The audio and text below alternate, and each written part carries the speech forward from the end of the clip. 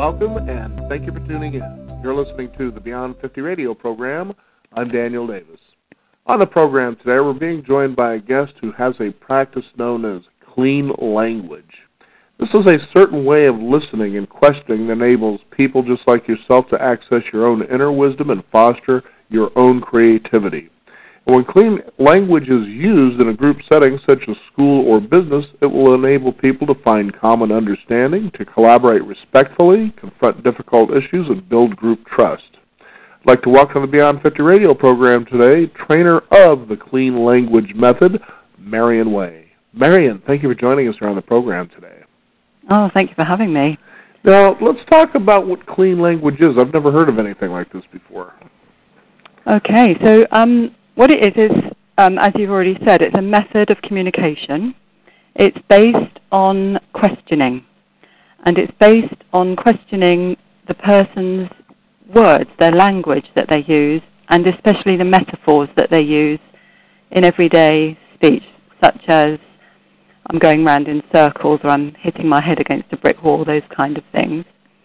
Um, and and or just any word. So I might uh, ask myself a question about the word question. For example, I can say, "Is there anything else about that question?" And, can, and then I can answer it. Although doing it with yourself is somewhat tricky, especially on the radio.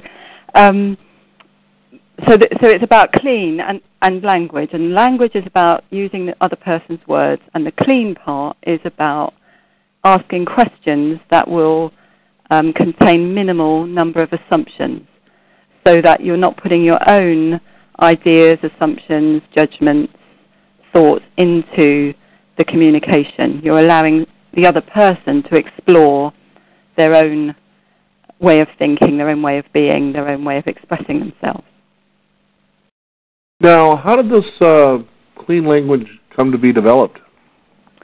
It started with a man called David Grove. Um, he was a psychotherapist and he was also quite innovative in his work and a person who would go to quite extreme lengths to figure out how things worked and what could be done better. And one of the things he did was he studied the client centered therapists who were around at that time, which was in the 70s and 80s. And he found that although they were client centered in that the agenda belonged to the client, because they were doing things that we do in everyday um, communication, such as paraphrasing what the person said to check that they understood, and summarizing and things like that, they were inadvertently changing the meaning of the person's words. So he started to wonder what it would be like if instead of changing and paraphrasing and summarizing, he would keep their words intact and just ask them questions about the words that they were using. And what he discovered was that if you do that, it, the person's attention stays on themselves instead of having to go between the two of you, and they can get in depth knowledge about what they're talking about just by being asked these simple questions. And the other thing that David did was he was interested in people who had suffered from trauma, and he noticed that quite often they would speak about their trauma using a metaphor. And, or maybe not even a metaphor, maybe a gesture, or they might have a nervous tic or something like that. And he wondered what it would be like if instead of treating those metaphors as kind of figures of speech and, and not really real, if he treated them as though they were literal, he wondered what would happen. He started experimenting with that using the clean questions. And what he discovered from that was, was that people would have this whole inner world um, of metaphors, symbols, and ideas that were expressed in a sort of a bit like a dream. Um, you know, when when you have a dream and things aren't quite the same as they are in normal life, um, he he would be able to go into that world with them, ask them questions about it, and from that metaphor and from that understanding that they got from that, things would be able to change and transform. And so, because he was talking about clean questions and talking about language. He called it clean language, and um, he was developing that during the 1980s and the 1990s. And uh, he went on. After that, he developed another process which he called clean space, which is um, even even more unusual in that he would encourage a person to find different spaces in a in a room or outside, and to find out what they knew in different spaces. And surprisingly, they knew all sorts of different things if, if they're standing in a corner than if they're standing by the window, and if they're standing out in, on the threshold of a door, they would know different things in relation to their topic that they were talking about. So he called that clean space. He then went on to develop another system which he called emergent knowledge. And all these questions had a clean element to them in that he wasn't adding to their content. Um, and the emergent knowledge was repetitive asking of questions in batches of six to find out what would happen if you just kept going. Like I said, he was a bit of a, an experimenter. And then, unfortunately, um, in 2008, he passed away, only 58. And so there are a number of us spread throughout the world who have taken his work and are developing it and using it and training it and doing all sorts of things with it to keep it to keep it alive because it is absolutely powerful and, and brilliant work. What was it about clean language that attracted you to it? Okay, well, I was um, I had already been practicing a type of um, coaching called neurolinguistic programming, and I attended a conference about that. And there was a speaker at the conference called James Lawley who was um, talking about language. And I went along to the talk, and he was talking about a thing called a bind, which is when when half of you wants to do one thing and half of you wants to do the other, and it's like you've got tied in knots. And I thought, oh, that applies to me. That's that's how my thinking goes. And so when he asked for somebody to become the demonstration person, I stuck my hand up and he chose me. And um, I found out all these things about myself in a very short amount of time that I had no idea existed before that moment. It was so powerful, and I was really hooked on the on that first time I think I experienced it and found out about it. Um, and so I went to see James and his partner Penny, Penny Tompkins, uh, for some therapy uh, just having discovered what I discovered, and I did a few sessions with them, and then I, you know, I thought I have to learn how to do this. It's so powerful, and so I went and trained with them. They were writing a book at the time called Metaphors in Mind, which I um, bought and adored, and just got into it, and eventually gave up my full-time job and started a, a company training other people to use clean language coaching people, and I, and now I've written a book as well. So uh, and I'm writing a second one with James himself about clean space. So um, it's been quite a journey, starting from putting my hand up in a conference room, basically. Now, what did you discover about yourself as this inquiry began to happen with you? Oh, well, I discovered um, I discovered that I was actually very resentful of lots of things in my life, and um, that when people said or did something that I didn't like, instead of challenging them or doing something about it or letting it go, I would kind of wind it up. And I had a little metaphor of a stick, and I would put their um, the thing on the end of my stick and make it bigger. Um, and that was representing, you know, kind of it going round and round in my mind and thinking of it more and more and more until it was enormous. And when it was really big, it, it, in my metaphor, it turned into the equivalent of a chair or a table. And I would put that chair or table up in an attic and cover it over because I didn't want to think about it and get on with my life. And then somebody else would do something that I didn't like, and that would get wound up into a piece of furniture, and that would go up in the attic until in the attic there were too many pieces of furniture and it would all come crashing down one day, and I would be in a terrible, terrible state, sobbing and crying, and um, I, and then all of this furniture would disappear after that, and then of course I would just start it all off again. So I discovered this, and I also discovered that actually if I just flick the sw- flick the stick around the other other way, so instead of going clockwise, I went anti-clockwise, and that represented letting it go, or going and talking to that person and saying something about it.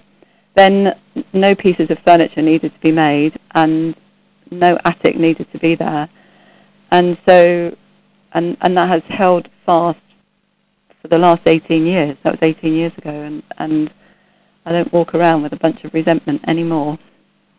So, how do you feel something like this actually helped change your life? I guess. Yeah, it has changed my life. Well, I I think it's it it it, it works through the medium of the metaphor because um, with the metaphor you're you're accessing the unconscious mind and you're you're getting into what's kind of beneath the behaviours and the ideas that you have. You're getting to the core of the problem, and because a metaphor kind of sums something up in a very small number of words uh, or a picture, then it, it's very easy to understand, and because it has a form, it's very easy to change.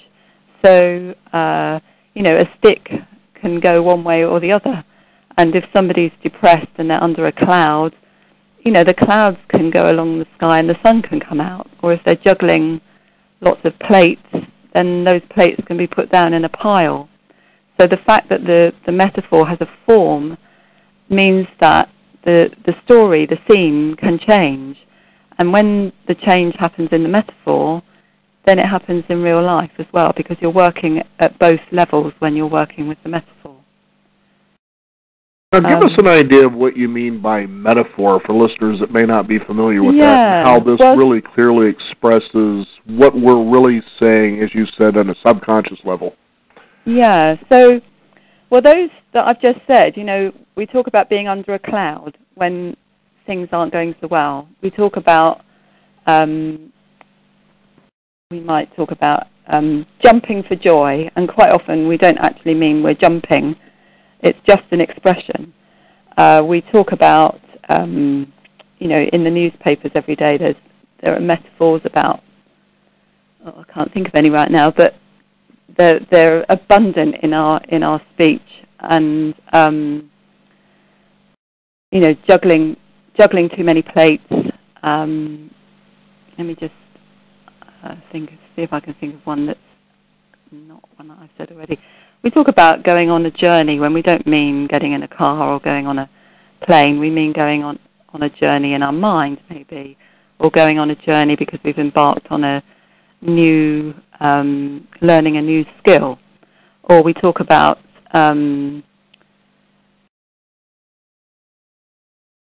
we, we, we talk about people pouring out their their troubles, and we don't really mean that they've got a jug and they're pouring something we mean metaphorically. So any time that we're using something that is a kind of real thing. Sort of like water under the bridge, in other words. Yeah, water under the bridge will be another one. Yeah. So anytime we're talking about, we're using real things in the real world to talk about ideas, then we're probably using a metaphor.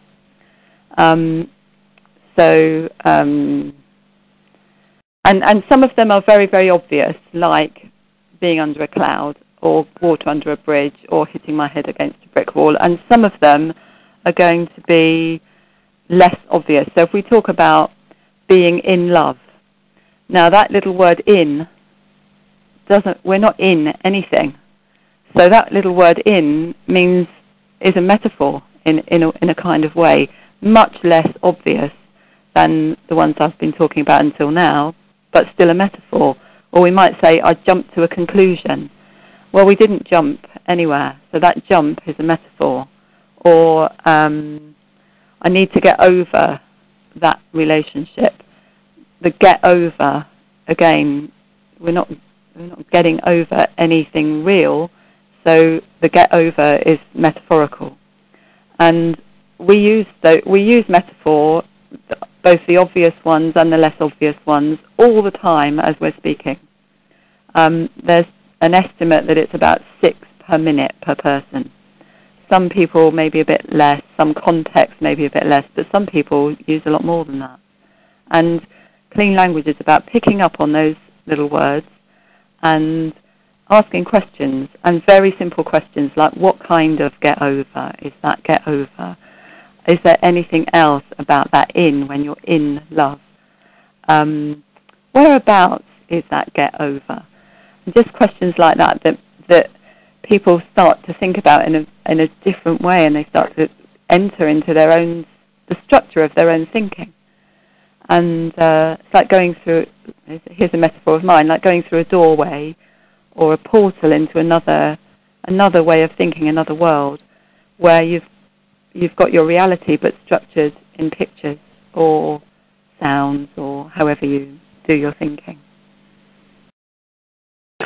So I I guess a good way we could probably maybe do a little bit of an experiment here on the program where perhaps you can kind of go through questions uh, and clean language with me and give yeah. the listeners an idea of how this actually works. Yeah, I'd love to do that. So um, how about we have how about you have a little thing because you have to have a topic for clean language otherwise you haven't got anything to ask about. So how about if we had as a topic when you are interviewing at your best? How would that work for you? That that would be fine. Great. So when you're interviewing at your best, you're like what? When I'm interviewing at my best, I'm like something is flowing through me. You know, working Ah. through me. In other words. Something is flowing through you. Yes, that something is working through me. It's sort of like I lose myself and I find myself all at the same time. Ah. Something's flowing through you, something's working through you, and you lose yourself and you find yourself all at the same time. And when something is flowing through, what kind of something could that be? I guess it would be an energy. Hmm. It could be an energy. And is there anything else about that energy when it's flowing through you? It's more like something kind of takes you over. You know, you know you're doing the action, the interviewing, whatever the case may be, but at the same time it's like you're possessed. So something takes you over and you're doing the interview and at the same time you're possessed. And is there anything else about that possessed? That's an interesting question, possessed. Like something's taking me over, uh, taking Mhm. control, I guess. Mm. And is that the same something that's flowing through or, or something different? Hmm. I guess it would be a little bit different than flowing through. You know, it kind of comes in and takes me over, and, and there I am doing my thing. Mm. It comes in and it takes you over and there you are doing your thing. And when it comes in, where does it come in from? That's a good question. I kind of think of it like, uh, Guess, for using a yoga term, my crown chakra. Your crown chakra. Ah. And is there anything else about that coming in when it comes in through your crown chakra? well, it's a feeling like perhaps I've opened up to allow something to come in and say, "Hey, let's go do this together," sort of a Mm. thing. So you've opened up to allow that thing to come through and let's go do this together. And when you've opened up, is there anything else about that open up? It just seems expansive. Mm, and it's expansive. And you open up and it's expansive. And what happens just before you open up? Well, you, I feel like I'm there, like I'm present, and then all of a sudden something just opens up, and it just, there, it's like a free feeling, a free fall Mhm. feeling, I guess. Mm. So you're present, and then all of a sudden something opens up and it's a free falling feeling.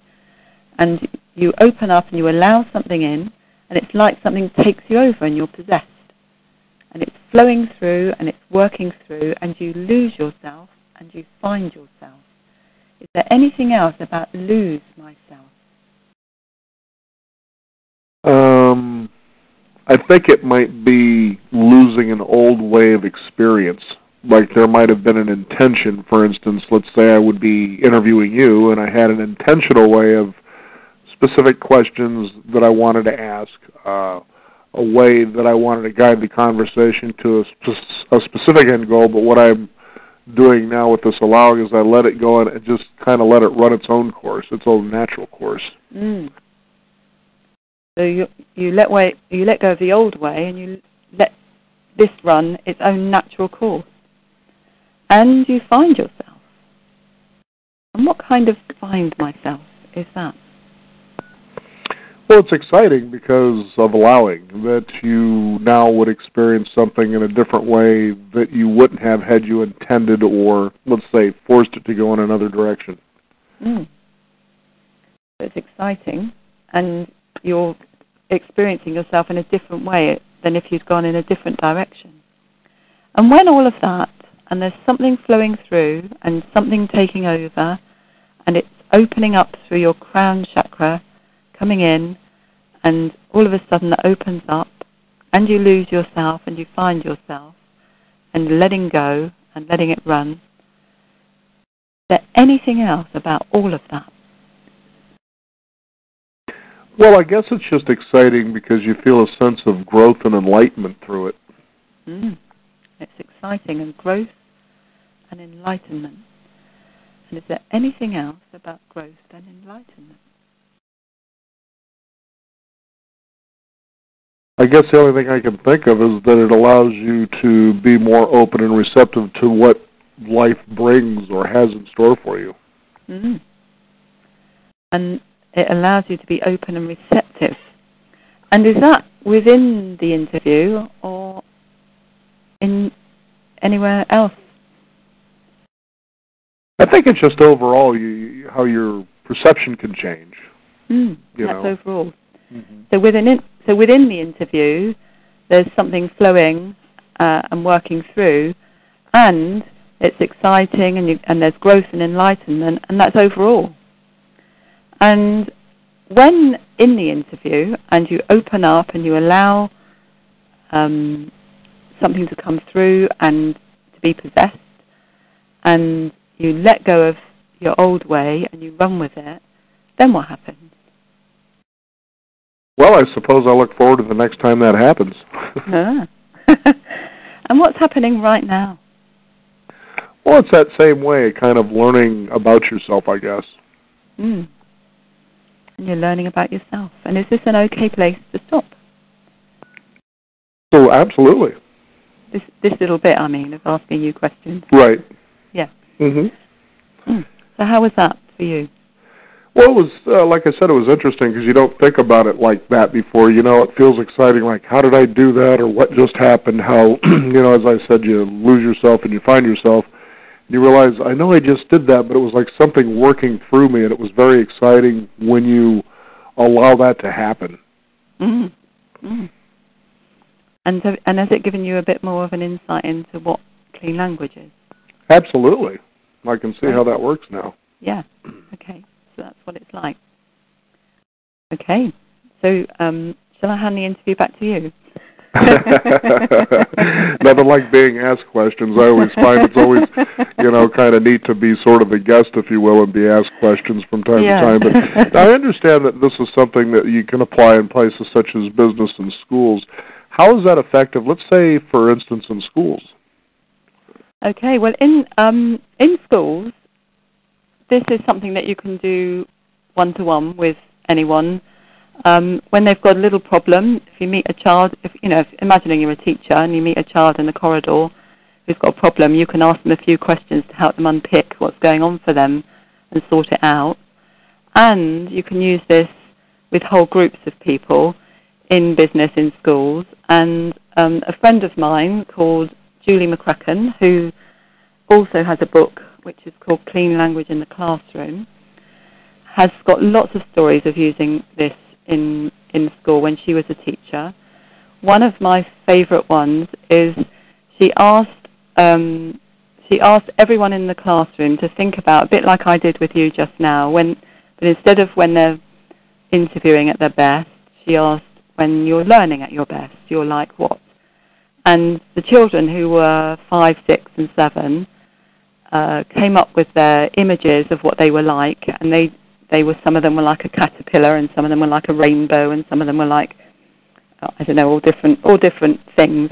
And they um, drew pictures of them and coloured them in and cut them all out, and then somehow uh, negotiated using a few clean questions to how this would be on a wall hanging. So they made a wall hanging, and they're saying, well, you know, the grasshopper needs to be near the ground, and then there's a rainbow that's got to be up in the sky. So they they worked out how all these symbols would be able to kind of live together on one wall hanging.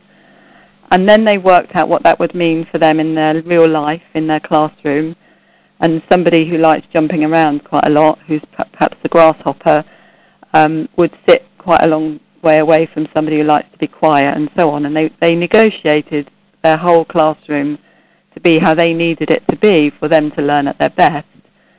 And then Julie would, um, and she would use clean language in all of her lessons to help them um, to, if they drew a picture, she would get them to ask each other questions. So, where does that come from? And they would find out a little bit more about what they'd drawn in their picture. And if they were doing handwriting, she'd get them to work out the um, the criteria for success in a handwriting lesson, again using clean questions. So she did a lot of work using these questions. And then if the class um, got a little bit noisy one time and they weren't doing what they were, what you know, the work that they, they'd been set, she would look at them and she'd say, "So when um, this is you learning at your best," and she'd point to the wall chart. So what needs to happen for that to happen? And they would all look at the wall chart and then go, "Oh yeah, we're supposed to, that's that's me. I'm supposed to be a grasshopper now. I'm supposed to be a rainbow," and they would get back into the good state that was elicited through the the original work that she had done with them, and uh, and the class could carry on working smoothly again. She, this book is full of stories like that that she tells about how she uses clean language in, in the classroom to do all all sorts of things. Um, so, so very, very powerful tool for, for teachers. And we're, we're doing quite a lot of work in schools using clean language um, and with young people to help them get back into work so that they, they get to know themselves and they get to know what kind of job they want, what, what will work best for them by using clean language together with a, a few other little um, self-discovery tools, but with clean language at the heart. There's lots of work that you can do with young people using these questions.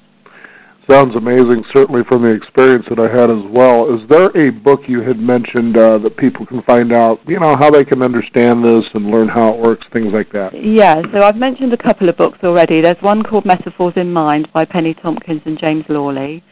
There's Julie's book, which is called Clean Language in the Classroom. My book is called Clean Approaches for Coaches. And um, that's on that's on sale on my website, which is called cleanlearning.co.uk. Um, and another book that I heartily recommend is by Caitlin Walker. It's called From Contempt to Curiosity. Because what these questions do is they engender a sense of curiosity in people. So instead of um, thinking somebody's being silly or um, you know judging them, find out what's really going on for them because it's generally not what you think. Isn't the truth? and get to know them, yeah. And right. so the questions are about being curious. So this, from contempt to be, from contempt to curiosity, is a great book for um, finding out how you can use clean language in lots and lots of different contexts with with groups. Very interesting work here, Marian. I want to thank you for taking the time to present this on our program here today. If you could, for our listeners, one more time, go ahead and give out that website where they can find out more. Yes, yeah, so uh, can I give out two? So there's one which is um, cleanlearning.co.uk because I'm probably, you can all tell from my accent, located in um, England. And every year I come to Portland in Oregon and we have a website there which is called cleaninportland.com. Well, very good. Marian, thank you so much for being on the program today. What a delight. You are more than welcome. Thank you very much for having me. Absolutely.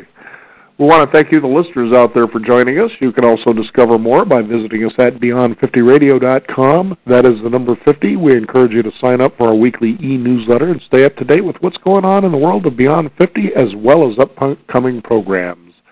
I'm Daniel Davis. Thank you for tuning in. This is the Beyond 50 Radio program, and remember, live your day past halfway.